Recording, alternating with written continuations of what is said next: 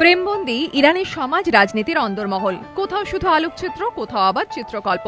ইরানের চোদ্দ জন শিল্পীর অনন্য সৃষ্টির দেখা মিলবে স্টুডিও টোয়েন্টি ওয়ানে কাজবিন থেকে মালায়ার কিংবা চালাস থেকে তেহরান। ইরানি মানুষের জীবন যুদ্ধে নানা মুহূর্ত ধরা পড়েছে শিল্পীদের সৃষ্টিতে। ম্যাক্সমুলা ভবন কলকাতা, পিক্স দিল্লি এবং স্টুডিও টোয়েন্টি ওয়ানের সম্মিলিত উদ্যোগে এই প্রদর্শনীর আয়োজন।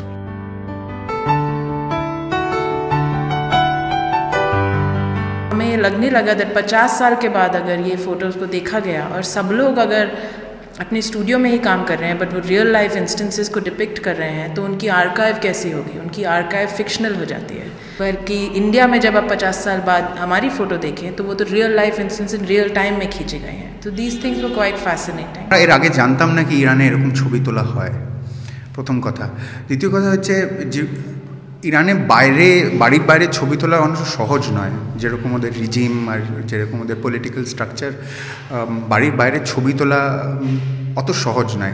তাই জন্য ডকুমেন্টারি ওয়ার্ক ওদের বা- ওদের দেশ থেকে একটু কম।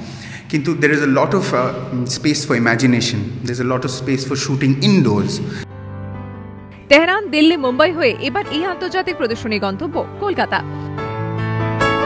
This exhibition itself, uh, we are very pleased to have it here in Kolkata uh, together with our partner Studio 21.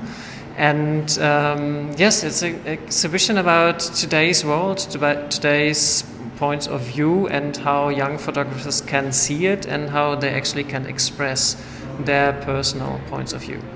वहाँ हमें लगा कि यहाँ की जो तस्वीरों का प्रभाव जो पड़ा है वो बड़ी उत्सुकता से और बड़े प्यार से उन्होंने अ, सहमाया था and that has to do with a sense of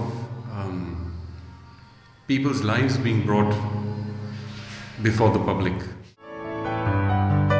শনিবার থেকে স্টুডিও টোয়েন্টি ওয়ানে এই প্রদর্শনী শুরু হবে মনোজিৎ সরকারের রিপোর্ট এবিপি আনন্দ কলকাতা